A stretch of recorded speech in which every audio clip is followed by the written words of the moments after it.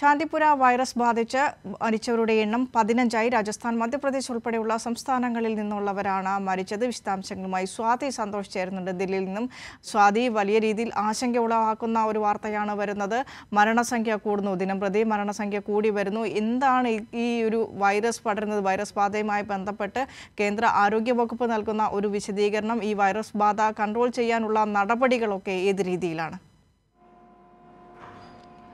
വിനിഷ സൂചിപ്പിച്ച പോലെ തന്നെ ഗുജറാത്തിനെ ആശങ്കയിലാക്കിക്കൊണ്ടാണ് ഇത്തരത്തിലൊരു അപൂർവ വൈറസ് പടർന്നു പിടിച്ചിട്ടുള്ളത്. കഴിഞ്ഞ ദിവസം ഇത് സംബന്ധിച്ച് വലിയ നിർദ്ദേശങ്ങളും ജാഗ്രതാ നിർദ്ദേശങ്ങളൊക്കെ ആരോഗ്യ വകുപ്പിന്റെ ഭാഗമായി ഉണ്ടായിരുന്നു.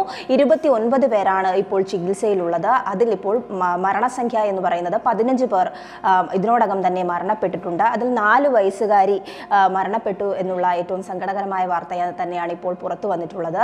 കഴിഞ്ഞ ദിവസം ഈ കുഞ്ഞിനെ രോഗലക്ഷണങ്ങളുമായി ബന്ധപ്പെട്ട ആശുപത്രിയിൽ ചികിത്സ തേടിയിരുന്നു.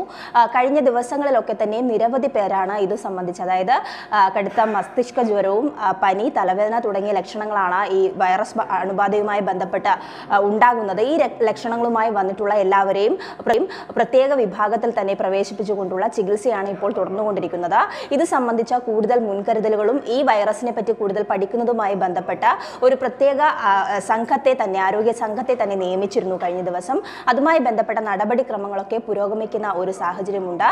മറ്റ് സംസ്ഥാനങ്ങളിൽ നിന്നുള്ളവർ അതായത് മധ്യപ്രദേശ് അടക്കമുള്ള മധ്യപ്രദേശ് മഹാരാഷ്ട്ര അടക്കമുള്ള സംസ്ഥാനങ്ങളിൽ നിന്നും ഈ- അണുബാധയുമായി ബന്ധപ്പെട്ട് ഇപ്പോൾ നിരവധി പേർ ചികിത്സയിലുണ്ട് എന്നുള്ളതും ആശങ്കയായി തന്നെ നിലനിൽക്കുന്നുണ്ട്. പ്രത്യേകിച്ചും ഈ വൈറസിന്റെ വ്യാപന വ്യാപനശേഷി വളരെ വലുതാണ്. കേന്ദ്ര നാഡീവ്യൂഹത്തെയും മസ്തിഷ്കത്തെയുമാണ് ഇത് ബാധിക്കുന്നത്. അതുകൊണ്ട് തന്നെ ഇത് പെട്ടെന്ന് കണ്ടുപിടിച്ചില്ല എങ്കിൽ അല്ലെങ്കിൽ രോഗലക്ഷണങ്ങൾ ഉണ്ടാകുമ്പോൾ തന്നെ അതുമായി ബന്ധപ്പെട്ട മുൻകരുതലുകൾ എടുത്തില്ല എങ്കിൽ ആ, മരണസാധ്യത വരെ ഉണ്ടാകുമെന്നുള്ളത് കൊണ്ട് തന്നെ കടുത്ത നിയന്ത്രണങ്ങളും ജാഗ്രതയുമാണ് ഇപ്പോൾ സംസ്ഥാനത്ത് പുറപ്പെടുവിച്ചിട്ടുള്ളത്. വിനിഷ.